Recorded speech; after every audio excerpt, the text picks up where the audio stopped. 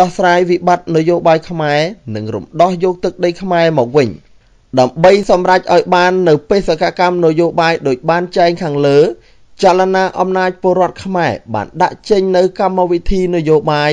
ដោយឈលលើសកម្មភាព10ចំណុចសំខាន់សំខាន់ដូចតទៅនេះ1កសាងនិងពង្រឹងនៅបណ្ដាញពលរដ្ឋបណ្ដាញសារព័ត៌មាន បណ្ដាញអង្គការសង្គមស៊ីវិលនិងបណ្ដាញការទូត លើផ្ទៃរាបអន្តរជាតិដើម្បីសម្រេចបាននៅទិសដៅ និងបេសកកម្មរំដោះប្រទេសខ្មែរ និងផ្ដល់សេរីភាពពេញលេញឲ្យពលរដ្ឋខ្មែរ 2 កសាងនិងពង្រឹងលទ្ធិសាធារណរដ្ឋប្រជាធិបតេយ្យសេរីសម្រាប់អនាគតនៃរបបនយោបាយខ្មែរ 3 កសាងពង្រឹងអំណាចពលរដ្ឋជាមូលដ្ឋាននៃការផ្លាស់ប្ដូររបបដឹកនាំនយោបាយ និងផ្លាស់ប្ដូរមេដឹកនាំនយោបាយសម្រាប់អនាគតនៃប្រទេសកម្ពុជា4កសាងនិងពង្រឹងអំណាចសង្គមស៊ីវិលឲ្យចូលប្រឡូកក្នុងសកម្មភាពនយោបាយ ដើម្បីលើកស្ទួយសិទ្ធិនយោបាយ និងជំរុញឲ្យមានការតស៊ូមតិដើម្បីធ្វើការផ្លាស់ប្ដូរ5កសាងនិងពង្រឹងអំណាចសង្គមព្រះពុទ្ធសាសនាឲ្យមានការចូលរួមក្នុងការកែលម្អក្នុងជីវភាពនយោបាយ ដើម្បីជួយលើកដំកើងនៅលទ្ធិសាធារណរដ្ឋប្រជាធិបតេយ្យសេរី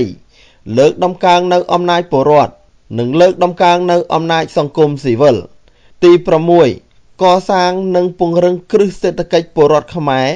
និងសហការជាមួយនឹងអង្គការពលរដ្ឋដែលមានទិសដៅរួមគ្នា ក្នុងបុព្វហេតុការពារជាតិមាតុភូមិនិងសាសនា ទី7កសាងនិងពង្រឹងជីវភាពនៃភាពជាអ្នកដឹកនាំ ភាពជាអ្នកនយោបាយ និងភាពជាអ្នកការពារ ដើម្បីឲ្យពលរដ្ឋខ្មែរហ៊ានធ្វើការតស៊ូប្រឈមមុខ និងចូលរួមដោះស្រាយបញ្ហាប្រទេសជាតិដោយភាពក្លាហាន និងជំហរ ទី8 កសាង និងពង្រឹងការផ្សព្វផ្សាយនៅព័ត៌មានពិត ឯកសារពិត និងពង្រីកការផ្សព្វផ្សាយឲ្យមានភាពទូលំទូលាយ ទាំងក្នុង និងក្រៅប្រទេស ទី9 កសាង និងពង្រឹងភាពជាដៃគូគ្នា ជាមួយនឹងមហាប្រទេស ដែលកាន់នៅរបបនយោបាយប្រជាធិបតេយ្យសេរីដែលមិនមែនជាកុម្មុយនីសនិងទី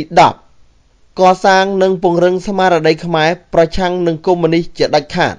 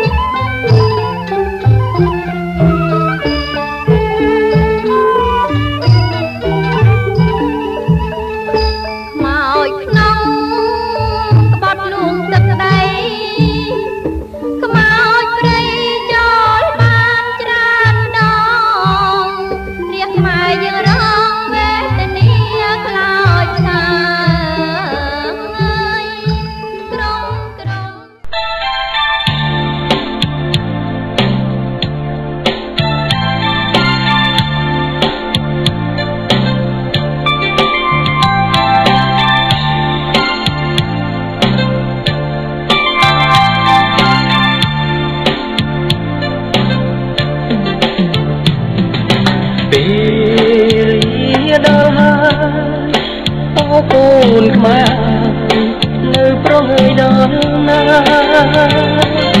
ពេលដល់ហើយអូកូនខ្មែរនៅប្រហើយដល់ណាព្រោះជាតិខេមរា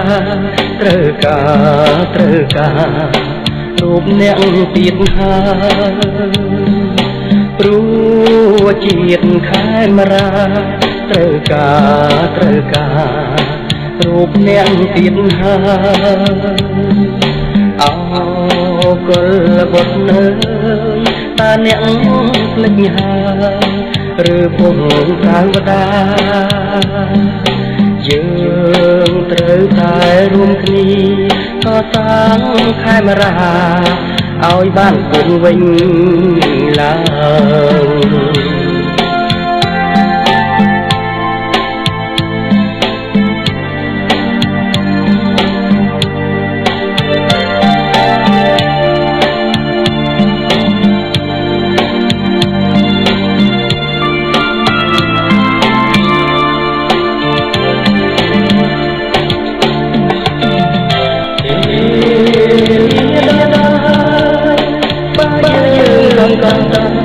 ម្នាក់ឡើងជាងណា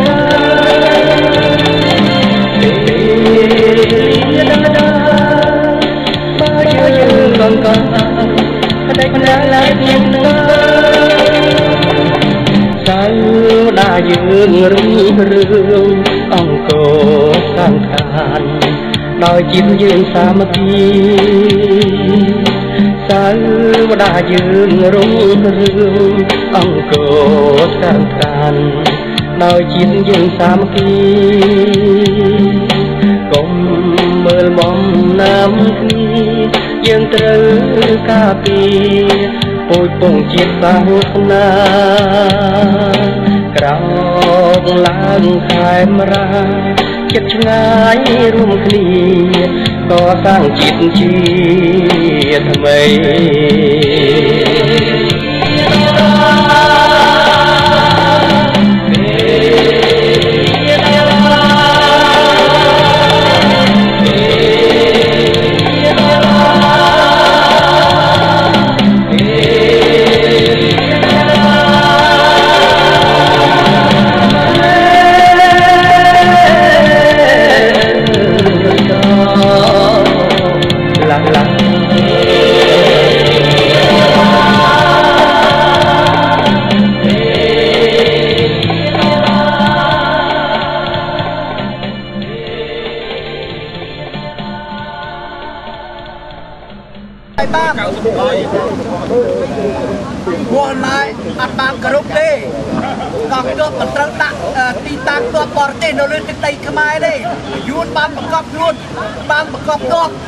ដើម្បីធ្វើអាណានិគមដើម្បីត្រួតត្រាកម្ពុជាដោយស្រមោលធ្វើគ្រប់បែបយ៉ាងប្រជាពលរដ្ឋបានដឹងបានយល់ទាំងអស់ពីសកម្មភាពរបស់យួនកុម្មុយនីសដែលនៅតែពពៀនដែលនៅតែធ្វើអំពើខុសច្បាប់ជាតិអន្តរជាតិដែលមិនព្រមគោរពមើងងាយមើលថោកដល់កម្ពុជាដែលជាអ្នកធ្លុតត្រង់ហើយជាអ្នកគោរពច្បាប់អន្តរជាតិឯរដ្ឋាភិបាលអាយ៉ងនោះក៏មិនគោរពដែរ ថែមទាំងជួយយួនឲ្យរស់នៅខុសច្បាប់អន្តោប្រវេសន៍ខុសច្បាប់ធ្វើនយោបាយចំណាក់ស្រុកប្រជាជនខ្មែរចេញពីស្រុកឲ្យទៅធ្វើការនៅបរទេសឲ្យយួនចូលមកនៅក្នុងដីខ្មែរឲ្យដីយួននៅរស់ទីធ្វើសកម្មភាព បរាជ័យយួនកុម្មុយនីសនឹងជន់ឈ្លានពានប្រទេសកម្ពុជាបរាជ័យបរាជ័យសកម្មភាពទាំងឡាយណាដែលកំពុងធ្វើនៅកម្ពុជាត្រូវតែគោរពត្រូវតែដកចេញជាបន្ទាន់ត្រូវតែគោរពច្បាប់ជាតិអន្តរជាតិពិភពលោកត្រូវស្កោលទោសប្រទេសទាំងពីរដែលមិនគោរពយើងជាជាប្រជាពលរដ្ឋនៅក្រៅប្រទេសទាំងអស់មានការជឿចាប់និងមានការអឺដៅក្រហាយជាទីបំផុតចំពោះជនជាតិខ្មែរដែលរងទុក្ខ មិនចេះចប់មិនចេះហើយបន្ទាប់ពីបបបាល័យពូសាសដែលរបបអាយ៉ងរបបខ្មែរក្រហមក្រែផ្លាយជាអាវខ្មៅមកខ្វាទេ នៅតែបន្លំធ្វើនយោបាយស្លាប់ខ្មែរដូច្នេះយើងជាសាច់ជាញាតិទាំងខ្មែរលើខ្មែរក្រោមខ្មែរកណ្ដាលសូមរួមកម្លាំងសូមប្រឆាំងជាដាច់កាត់បរាជ័យ ពួកសត្រូវឈ្លានពានបរាជ័យសត្រូវឈ្លានពានបរាជ័យបរាជ័យជនក្បត់ជាតិបំរើក្បត់ជាតិបរាជ័យជនក្បត់ជាតិបរាជ័យជ័យយោអ្នកស្នេហាជាតិជ័យយោបរាជ័យជនក្បត់ជាតិបរាជ័យជនក្បត់ជាតិបរាជ័យយួនភ្លមានពៀនកម្ពុជាដោយច្របល់សំ ទើបបង្កប់សម្រាប់ខ្មែរធ្វើនយោបាយរំលាយខ្មែរសូមឲ្យបរាជ័យសូមបរាជ័យសូមបងប្អូនខ្មែរទាំងអស់រួបរวมសាមគ្គីដើម្បីធ្វើការតប៉ាប្រឆាំងយើងខ្ញុំទាំងអស់គ្នានៅបរទេសមិនប្រងើយកតើជាដាច់ខាតទាំងខ្មែរក្រមខ្មែរកដាលខ្មែរលើសូមបញ្ញាការពារបូរណភាពទឹកដីទុកជូនឲ្យកូនចៅជំនាន់ក្រោយ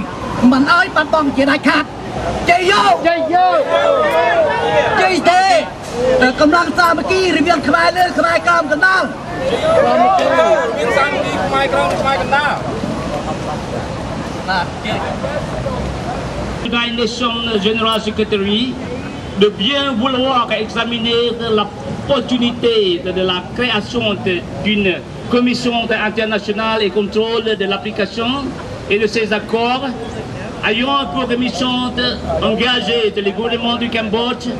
du Vietnam et du Thaïlande à respecter scrupuleusement ជំនាមានគេដរាមទឹកដីហើយនឹងឲ្យសម្ដេចហ៊ុនសែនជួយអឺជួយដោះស្រាយឲ្យប្រជារាស្ត្រផងឲ្យសម្ដេចហ៊ុនសែនជួយមើលខ្មែរផងកុំឲ្យជួនចូលមកទឹកដីជើងច្រត់ពេក មកទីហើយខាងមកនេះហើយណា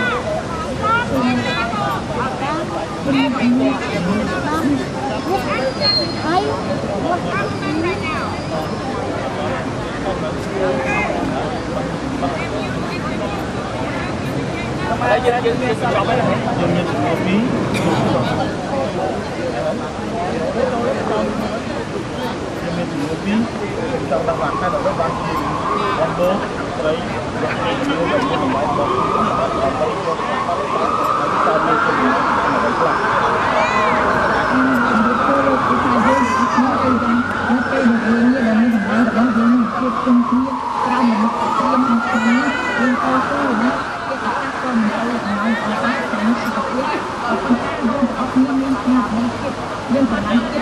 រហែលចិត្តទឹកដីរបស់យើងដូច្នេះយើងអស់ភាពងារក្នុងក្នុងអង្គការសហប្រជាជាតិសូមឲ្យជួយប្រទេសខ្មែរជួយដោះស្រាយបញ្ហាចំនួនគ្រប់ដែនរវាងទូតខ្មែរហើយសៀមខ្មែរហើយដូច្នេះយើងដឹងថាលោកអគ្គលេខាធិការបាទីម៉ូនឹងទៅប្រទេសកម្ពុជានៅក្នុងអាទិត្យក្រោយនេះដូច្នេះយើងសូមឲ្យលើនៃសន្តិភាពទីក្រុងប៉ារីសហើយដូច្នេះសូមឲ្យប្រទេសជិតខាងយួនសៀមនេះគោរព គោរពតាមរែងសន្និអឺសន្ធិសញ្ញាសន្តិភាពនេះឲ្យបានច្បាស់លាស់ឈប់រំលោភទឹកដីកម្ពុជាចាសូមអរគុណនោះទី2ខ្ញុំចង់ដឹងថាហេតុអ្វីបានជាយើងទាំងអស់គ្នាមានការពន្យល់ស្របនិងការដឹកនាំរបស់រដ្ឋាភិបាលគុំតែសប្តាហ៍តើមានមូលហេតុសំខាន់នៃកត្តាសំខាន់អ្វីខ្លះបានជាយើងប្រឹងប្រែងធ្វើការប្រឆាំងនឹងជំនាញដើម្បីឲ្យខ្មែរទាំងអស់គ្នាមានសិទ្ធិសេរីភាពឡើងវិញមកអឺព្រោះយើង ទាំងអស់គ្នាគឺមានការសង្ឃឹមអឺទុកចិត្តទៅលើរដ្ឋាភិបាលខ្មែរយើងទាំងអស់គ្នាព្រោះយើងមើលអឺហើយក៏បានធ្វើមកអង្គើដែលបានធ្វើជាយូរយូរមកហើយដូចជាបញ្ហាអឺប្រកែត្រូវប្រកែខ្មែរជាគឺថាកិច្ចចរចារវាងធ្វើភាគីរវាងកម្ពុជានិងអឺថៃបានមានបានការអីសោះហើយទៀមនៅតែលឹកដោលឹកដោខោកយើងដកយើងណាគ្រប់តែយើងទេ យើងអស់គ្នាជួបរួមសាមគ្គីគ្នាដើម្បីទាមទារជាទេច្បាប់អន្តរជាតិឲ្យអន្តរជាតិជួយធ្វើការខុសត្រូវយើងមកទេខ្មែរផង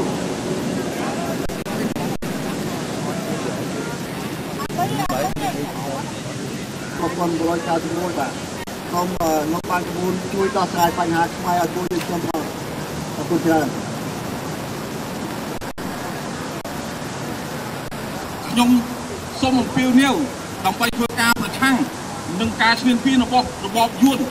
សូមប្តឹងដល់អង្គការសហប្រជាជាតិដើម្បីជួយរំលឹកឡើងសារជាថ្មីនៅច្បាប់ដែលបានសាងជាសន្ធិសញ្ញានៅក្នុងឆ្នាំ1991ឥឡូវនេះច្បាប់នឹងមិនបានត្រូវការអនុវត្តដូច្នេះសូមអស់លើកដើម្បីជួយសើរើនៅទង្វើទាំងឡាយដែលបានធ្វើកន្លងមកនេះសូមអរគុណកុំឲ្យការពារពួកយួនដែលមកជឿនប្រទេសខ្មែរសូមឲ្យលោកគិតពីប្រជាពលរដ្ឋខ្មែរដែលវេទនា តាំងខ្មែរក្រមអត់បង់ទឹកដីរហូតមកដល់ថ្ងៃនេះទៀតសូមឲ្យលោកភ្នាក់រឹកលោកជាជនជាខ្មែរសូមលោកភ្នាក់រឹកឡើងសូមអរគុណទៀតចាខ្ញុំសូមអំពាវនាវឲ្យដល់អស់លោកដែលធ្វើការនៅក្នុងប្រទេសកម្ពុជាសប្តាហ៍នេះសូមឲ្យដឹងខ្លួនហើយអ្វីដែលអំពើ